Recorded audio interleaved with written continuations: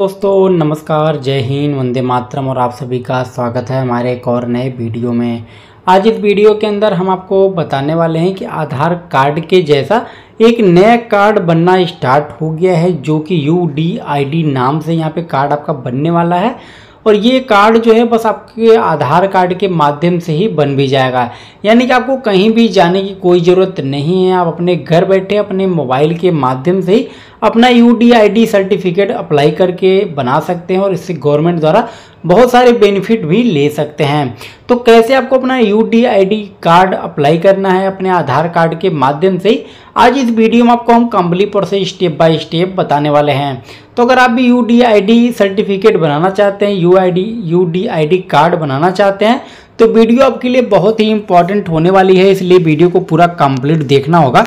Video पसंद आ जाए, video को लाइक कर दीजिएगा, मेरे चैनल पे नए हैं, चैनल को सब्सक्राइब कर लीजिएगा बेल नोटिफिकेशन को भी ऑन कर लीजिएगा, ताकि मेरी वीडियो सबसे पहले आप तक पहुँचे। तो चलिए वीडियो को ही स्टार्ट करते हैं। अब सबसे पहले तो आपको अपने मोबाइल या लैपटॉप में कोई सा एक ब्राउज़र को ओपन करना है। अगर आप U D I D card बनाना चाहते हैं तो सबसे पहले आपको अपने मोबाइल या लैपटॉप में कोई सा एक ब्राउज़र को ओपन करना है। ब्राउज़र ओपन करने के बाद यहाँ आपको टाइप करना है यू डी आई डी बस आपको इतना लिखना है, इतना लिख के आपको सर्च कर देना है। सर्च करने के बाद यहाँ पे पहला जो लिंक देखने को मिल रहा है, बस आपको क्या करना पड़ेगा, इसी वाले आपको लिंक पे क्लिक कर देना है। अब जैसे इस लिंक पे क्लिक करेगा तो यहाँ पे U I D U D I D portal आप लॉगिन हो जाइएगा। लॉगिन होने के बाद आपके सामने कुछ इस तरीके का इंटरफेस देखने को मिलेगा। यहाँ आपको देखने को मिलेगा अप्लाई नाउ का एक ऑप्शन ठीक है? आपको यहाँ पर अप्लाई नाउ वाला ऑप्शन पे क्लिक कर देना है। जैसे अप्लाई नाउ वाला ऑप्शन पे क्लिक करिएगा, थोड़ा सा आपको नीचे स्क्रॉल करना है। अगर आप पहली बार इस पोर्टल में यू डी कार्ड बनाने जा रहे हैं तो आपको पहले वाले ही लिंक इस वाले ऑप्शन पर क्लिक करना है। पहले वाले ऑप्शन पर क्लिक करने के बाद आपको थोड़ा सा नीचे आना और यहाँ पे सबमिट वाला ऑप्शन पर क्लिक कर देना है। जैसे सबमिट वाला ऑप्शन पर क्लिक करेगा तो आपके सामने देखिएगा कि रजिस्ट्रेशन फॉर्म ओपन हो जाएगा।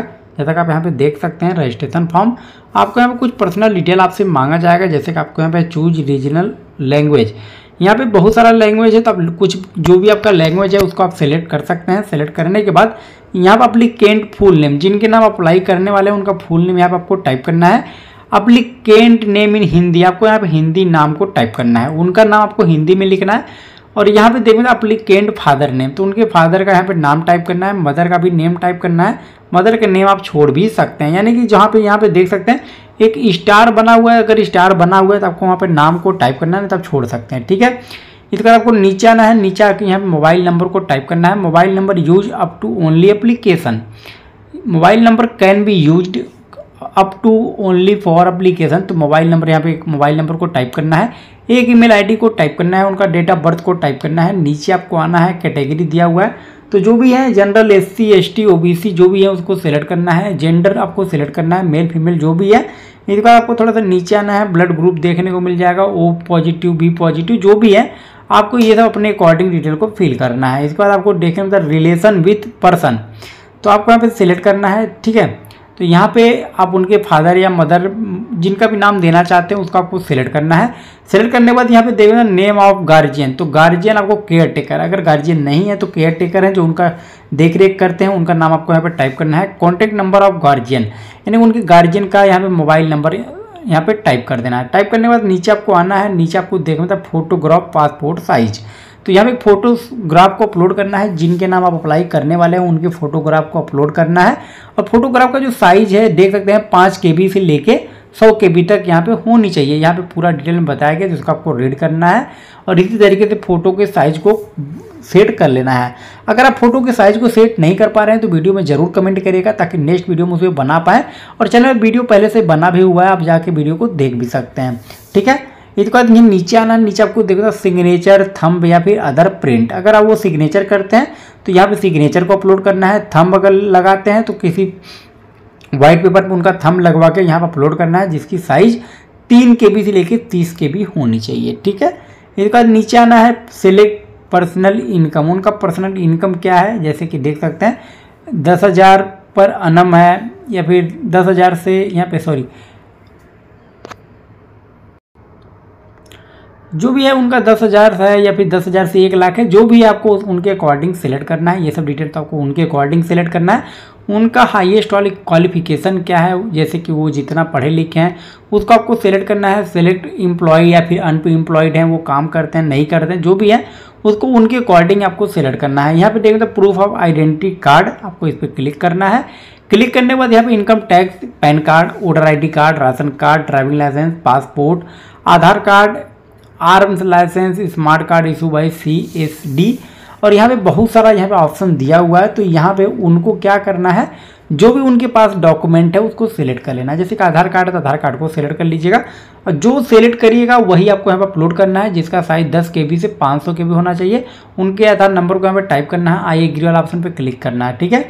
चेकबॉक्स पर क्लिक करना उसके बाद यहाँ पर देखना nature of document of address proof तो एड्रेस प्रूफ में क्या देना चाहते हैं, वो आपको यहाँ पे देखने को मिल जाएगा तो आधार कार्ड को भी सिलेक्ट कर सकते हैं।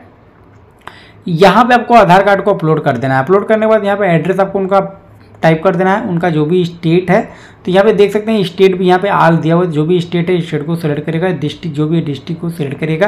तहसील जो है, तहसील को सिलेक्ट करेगा ब्लॉक जो है ब्लॉक को सिलेक्ट करेगा पिन कोड जो है पिन कोड को सिलेक्ट कर लीजिएगा। ये हम आपको एक डेमो के तौर पर बता रहे हैं तो आपको इसी तरीके से सिलेक्ट करना है। अब यहाँ पर डिसबिलिटी टाइप ठीक है? डिसबिलिटी टाइप अगर इसको समझ नहीं आ रहा तो आप यहाँ से ट्रांसलेट भी कर सकते हैं। थ्री डॉट पर क्लिक करके इसको ट्रांसलेट आप कर सकते हैं। तो चलिए हम इसको ट्रांसलेट कर दिए। देख सकते हैं, बताया गया है। विकलांगता ब्यूरड यानी विकलांगता का प्रकार क्या है? आपको विकलांगता जुड़ने वाला ऑप्शन पर क्लिक करना है। अंधापन है कर्ण दृष्टि है, सर्वित है लोको मोटर विकलांग, कुष्ठ रोग, ठीक हुआ। मस्तिष्क पक्षाघात बौद्धिक विकलांगता, मानसिक बीमारी तो जो भी है उनको प्रॉब्लम आपको क्या करना पड़ेगा?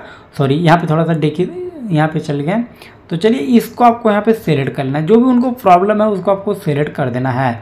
अगर जो भी प्रॉब्लम है प्रॉब्लम को ही सिलेक्ट करिएगा, ध्यान से आपको करना है, ठीक है? प्रॉब्लम को सिलेक्ट करने के बाद यहाँ आपको देखना विकलांगता का के कारण, ठीक है? और यहाँ पे विकलांगता के कारण चयन करने वाला ऑप्शन पे क्लिक करना है। चलिए हम यहाँ पे क्लिक कर लेते हैं। क्लिक करने के बाद यहाँ पे दुर्घटना, जन्मजात, रोग वंशानुगत संक्रमण, दवा। तो जो भी है उसको आपको सेलेक्ट करना है। जन्म से विकलांग है या फिर नहीं है तो वो आपको यहाँ पे सेलेक्ट करना है। क्या आप इलाज करने वाला अस्पताल अन्य ज़िले में है? क्या आप इलाज करने वाला अस्पताल या फिर अन्य ज़िले में है? तो अस्पताल का यहाँ से नाम चुनें।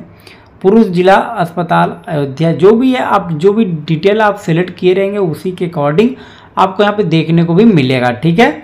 इसके बाद यहाँ पर आपको कैप्चा कोड देखने मिलता है। कैप्चा कोड को फिल करना है चेकबॉक्स पर आपको क्लिक करना है और जमा करे वाला ऑप्शन पे क्लिक करना है या फिर अगर ये इंग्लिश में रहेगा तो आपको देखने को मिलेगा, जैसे आप चलिए इंग्लिश में करके दिखा देते हैं।